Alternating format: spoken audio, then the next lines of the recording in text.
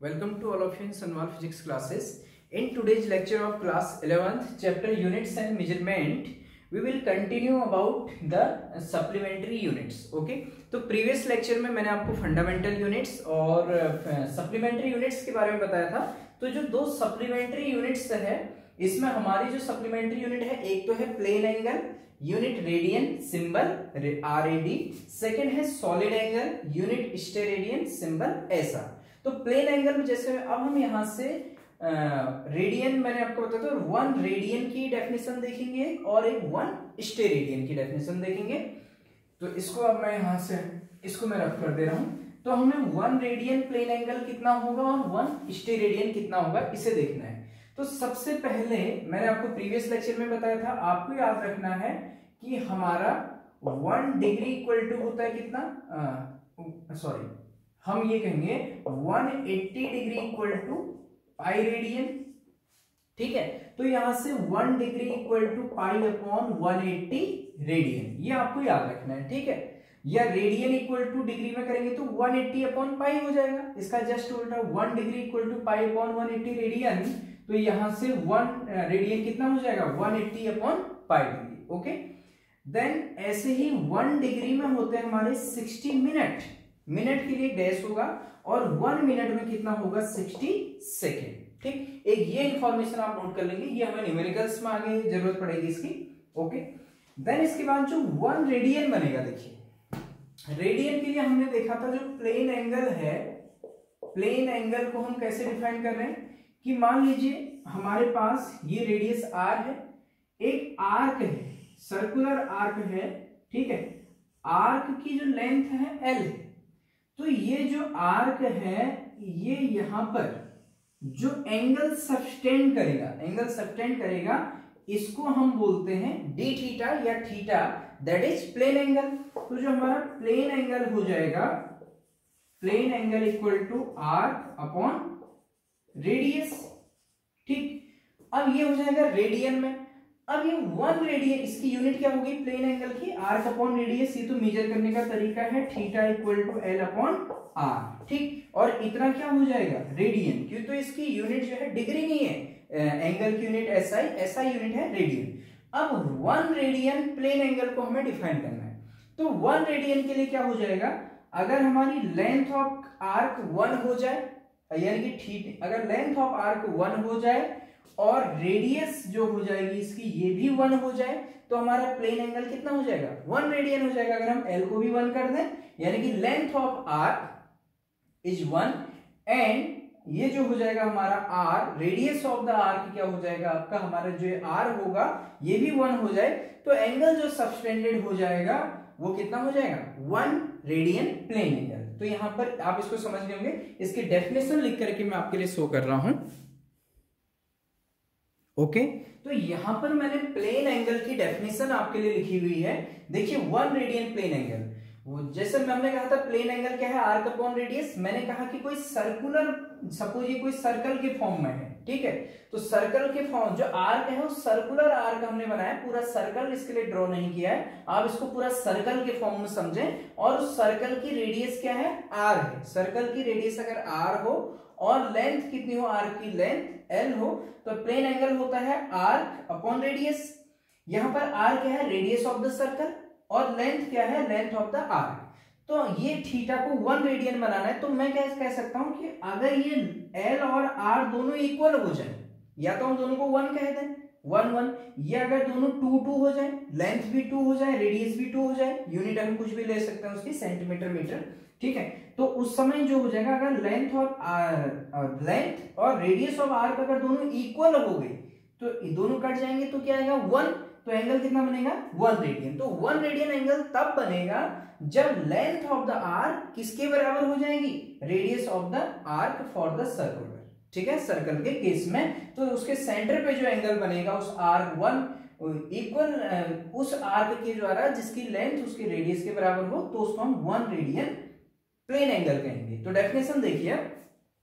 One radian is defined as the plane angle subtended at the centre of a circle plane angle है subtended at the centre of a circle by किसके द्वारा? An arc equal in length to the radius of the circle देखिए, ये है main by an arc arc equal in length to the radius of the circle means L और are equal तो this is the definition for one radian plane angle ठीक है? तो आप इसको स्क्रीनशॉट लीजिए और इसको नोट कीजिए, फिर हम देखेंगे यहाँ पर सॉलिड एंगल स्टेरेडियन ओके तो यहाँ पर आपने अब इसको नोट कर लिया होगा प्लेन एंगल को और वन रेडियन एंगल को आपने नोट कर लिया। अब इसके बाद से नेक्स्ट हम डिस्कस करेंगे सॉलिड एंगल को समझेंगे और one radian sorry one steradian solid angle को समझेंगे। तो जो सॉलिड एंगल है, मैंने पिछले प्रीवियस लेक्चर में भी आपको समझाया था। तो सॉलिड एंगल क्या है? देखिए, ये एंगल है थ्री डायमेंशनल में। ये कब है एंगल प्लेन में। वो तो प्लेन में था टू में एंगल था प्लेन एंगल जब थ्री डायमेंशन में कोई एंगल को हम देखेंगे तो हम उसको कहते हैं सॉलिड एंगल अब सॉलिड एंगल को आप कैसे समझेंगे? मान लीजिए कि स्फेयर है, एक स्फेरिकल सरफेस हमारे पास है।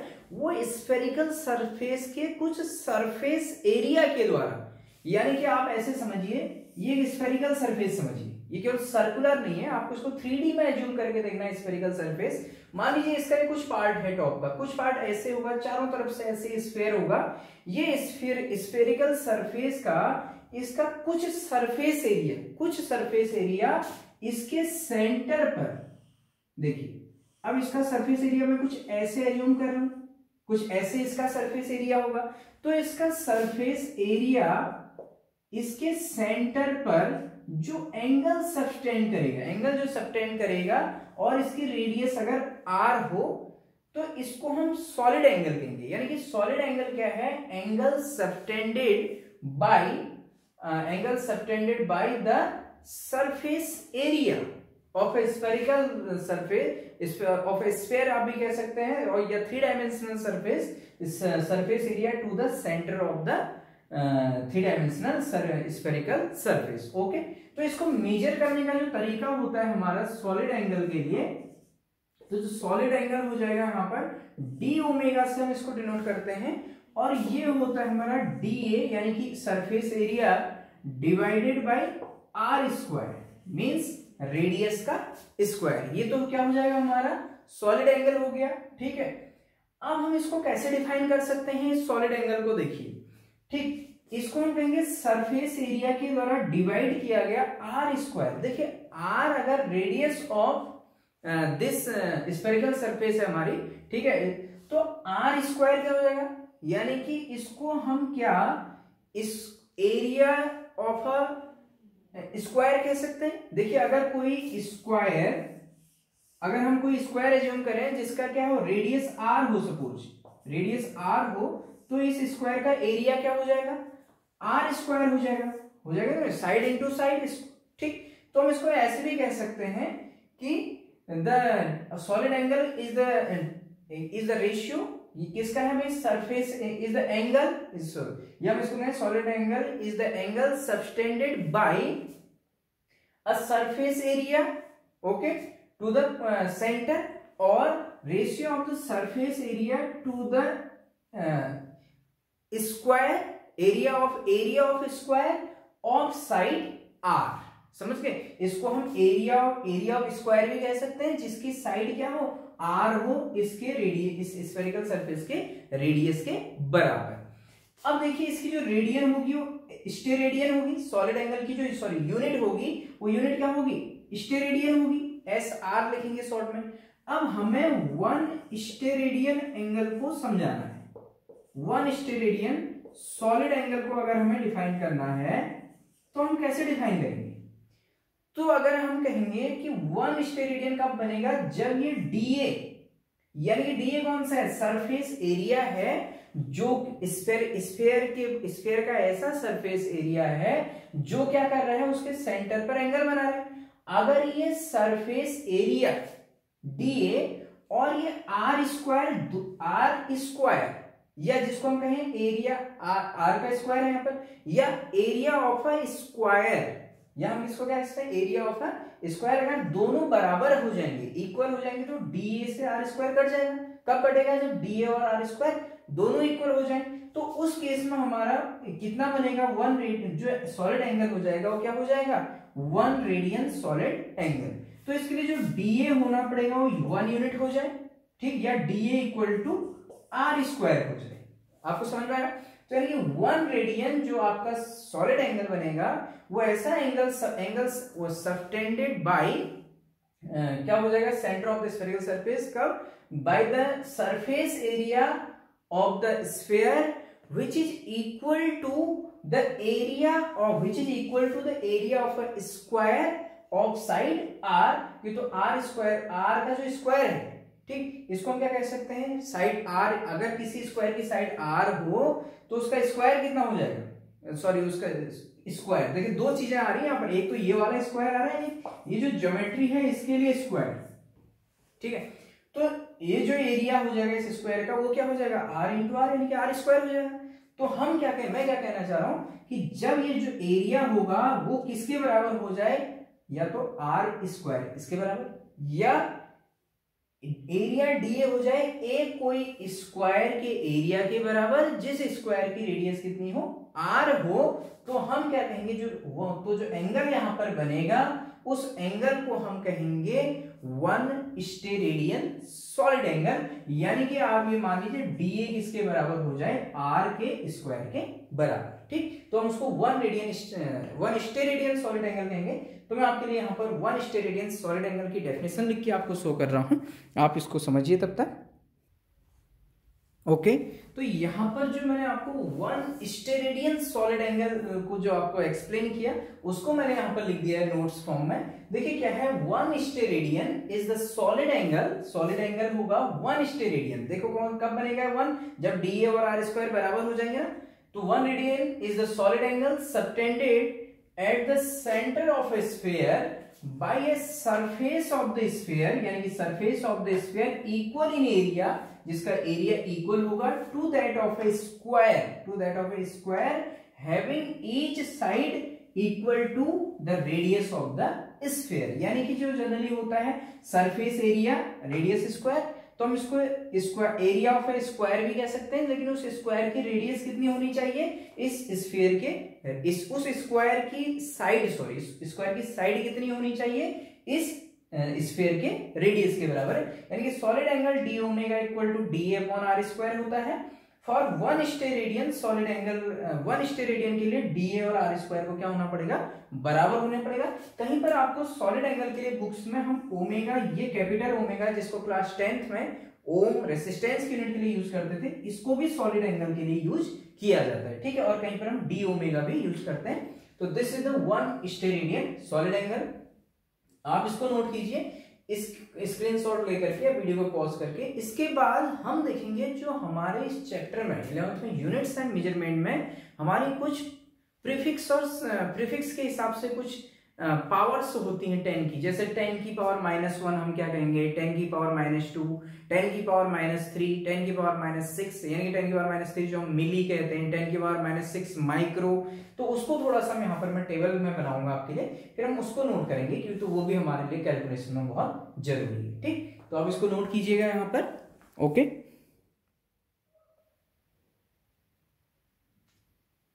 ओके? तो अब इसके बाद से मैंने यहाँ पर वो आपने नोट कर लिया होगा। अब हम बात करेंगे prefixes for power power of ten यानी कि टेन की पावर अगर minus one minus two minus three या plus one plus two plus three तो हम उसको क्या कहेंगे? जनरल जो हमारे आगे बहुत काम आएगा, ठीक है?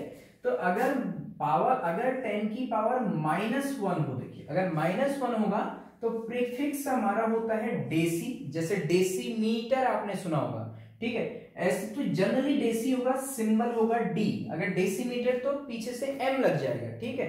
और दूसरी बात कर अगर हम कहें टेन की पावर माइनस टू तो इसके लिए आपको पता है प्रीफिक्स होता है सेंटी ठीक? अगर लेंथ हो तो सेंटीमीटर जनरली हम लेंथ को देखते हैं इसमें तो इसका सिंबल होता है सेंटी के लिए सी मीटर देखिए, इसका सिंबल केवल सेंटी का सी होता है सेंटीमीटर अब मीटर की यूनिट क्या होती है? एम लिखते हैं ना तो इसलिए हम सेंटीमीटर को सी एम लिखते हैं डेसीमीटर को डेसीमीटर को डी एम लिखते हैं, ठीक है? तो जनरल ये आपका डी और सी ही होगा सेंटी के लिए, ठीक? देखिए टेन की पावर माइनस थ्री ये भी आपको पता है, इसके लिए प्रीफिक्स होता है मिली और मिली के लिए केवल एम होता है, ठीक? अब देखिए, इसका मैं आपको एग्ज़ाम्पल बताऊँ, आपने देखा है मिलीमीटर तो मिलीमीटर को हम लिखते हैं वन वन मिलीमीटर कहें तो वन एम एम ठीक है? ऐसे ही अगर हम कहें वन मिली एम्पियर तो मिली के लिए हम खाली एम यूज़ करेंगे। एम्पियर का ए लिख दिया हमने, देखिए पीछे। मिली के लिए केवल एम यूज़ होगा, ठीक? वन मिली कूलॉम ठीक? तो वन एम सी ठीक हो गया? तो वन मिली कूलम हो गया। ऐसे ही अगर हमारे पास से बहुत सारी ऐसी क्वांटिटीज होंगी तो जब मिली के लिए केवल एम होगा। पीछे जो भी हम करेंट करें तो एम्पियर अगर लेंथ करें तो मीटर और चार्ज कह रहे हैं तो सी हमने लगा दिया ठीक? ऐसे नेक्स्ट हमारे पास इसके बाद आता है मेन टेन की power minus six minus six के लिए होता है माइक्रो इसका जो सिंबल होगा ओनली म्यू होगा। तो देखिए इसमें भी जैसे वन माइक्रोमीटर कहेंगे, तब हम माइक्रो के लिए म्यू मीटर के लिए एम लगाएँगे अगर वन माइक्रो कूलॉन कहेंगे तो माइक्रो के लिए माइक्रो के लिए म्यू और चार्ज के लिए क्या लगाएँगे? कुछ सी लगाएँगे, ठीक?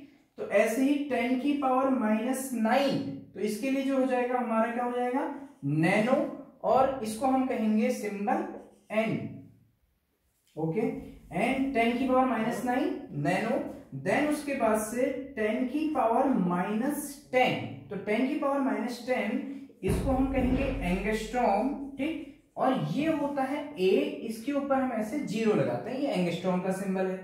देन नेक्स्ट है टेन की पावर माइनस ट्वेल्व अगर हो तो हम इसको कहते हैं पीको। ये सिंबल किसमें होगा? पीको। और इसका सॉरी ये जो प्रीफिक्स है पीको, सिंबल है पी। तो वन पीकोमीटर तो वन पी, तब एम लगाएँगे। पीको कूलॉम, वन पी फिर सी लगाएँगे, ठीक है?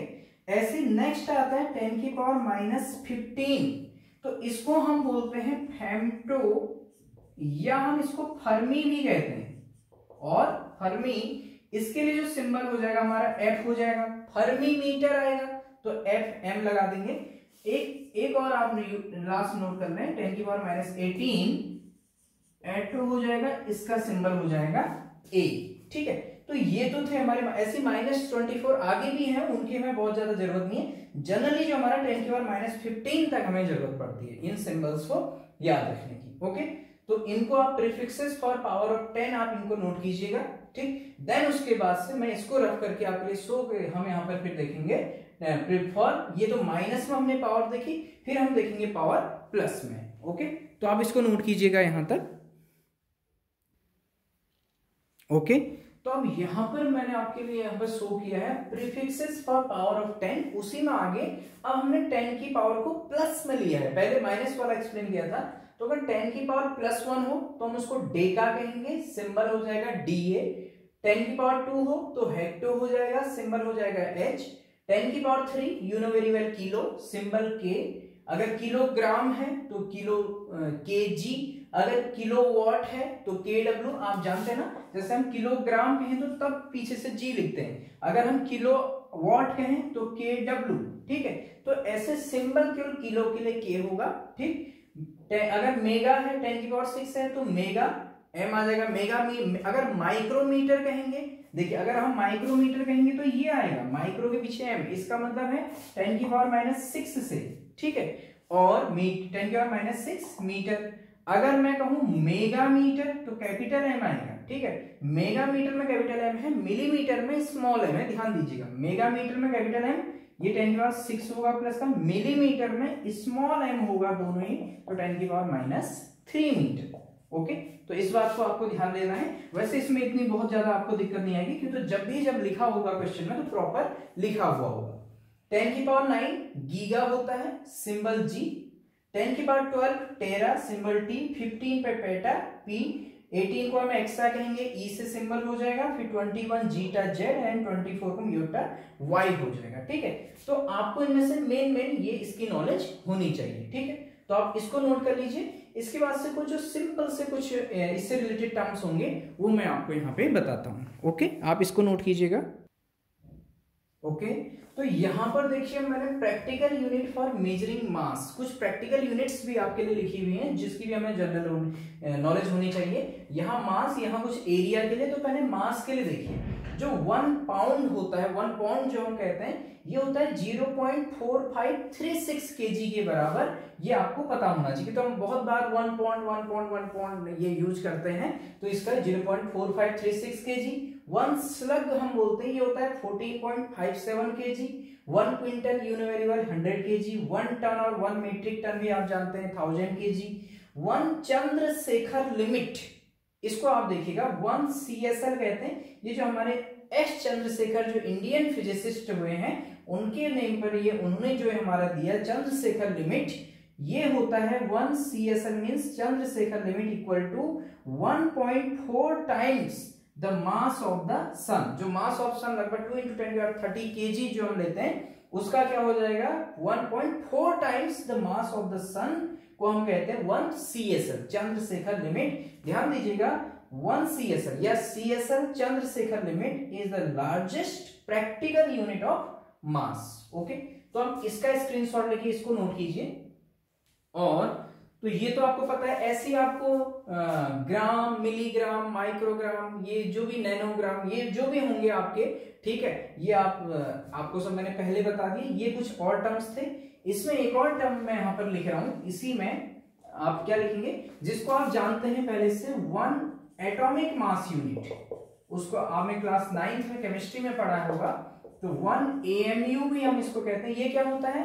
वन बाई ट्वेल्व और mass of carbon twelve atom. Carbon twelve जो होता है सिक्स सी ट्वेल्व तो सिक्स सी फोर्टीन भी होता है ना, कार्बन के आइसोटोप्स। तो six C twelve, carbon twelve atom के मास का वन बाई ट्वेल्व को हम क्या कहते हैं? One M one atomic mass unit. और ये होता है हमारा one point six six into ten की power minus twenty seven K G के बराबर। ये स्मॉलेस्ट यूनिट होगी ठीक है? क्योंकि हमारे लिए बहुत छोटी यूनिट है मास के लिए, ठीक? ऐसे ही यहाँ आप इसको भी नोट कर लीजिएगा प्रैक्टिकल यूनिट फॉर मास ये आपको पता होनी चाहिए। Practical units for measuring area area देखिए एरिया को जनरली हम सेंटीमीटर स्क्वायर में मेजर करते हैं मीटर स्क्वायर में मेजर करते हैं स्क्वायर फीट में मेजर करते हैं, जैसे कहीं पर अगर लैंड वगैरह, ज़मीन वगैरह है तो हम कहते हैं कि इतना स्क्वायर फीट है। गज में करते हैं तो बहुत सारी चीज़ें हैं। तो जो मेन सॉरी स्क्वायर फीट हम कहेंगे एरिया के लिए, गज नहीं सॉरी तो यहाँ पर देखिए, ये जो है हमारा अब एरिया के लिए और भी मैंने कुछ लिखे हुए जैसे वन बर्न जनरली हम यूज़ करते हैं। तो ये होता है टेन की power minus twenty eight metre square के बराबर माइनस ट्वेंटी एट ओके और वन एकड़ ये आपने सुना होगा वन एकड़ कितना होता है? ये होता है four zero four seven four thousand forty seven metre square area को हम वन एकड़ कहते हैं, ठीक है? नोट कीजिएगा प्रैक्टिकल लाइफ में भी बहुत काम आएँगे। वन हेक्टेयर वन हेक्टेयर होता है ten to the power four metre square यानी कि टेन थाउज़ेंड मीटर स्क्वायर तो ये जो है हमें क्योंकि हम यूनिट एंड मेज़रमेंट वाला चैप्टर पढ़ रहे हैं तो हमें इनको भी जानना ज़रूरी है। तो आज के इस लेक्चर में हमने पढ़ा one radian plane angle and one radian solid angle यह one steradian solid angle ये चीज़ें हमने देखी। फिर हमने prefixes for powers of ten and some ये इंपोर्टेंट पॉइंट्स नोट किए। तो अगर आपको ये वीडियो पसंद आता है तो आप वीडियो को लाइक भी कीजिएगा और चैनल को सब्सक्राइब भी कीजिएगा। Thank you thank you so much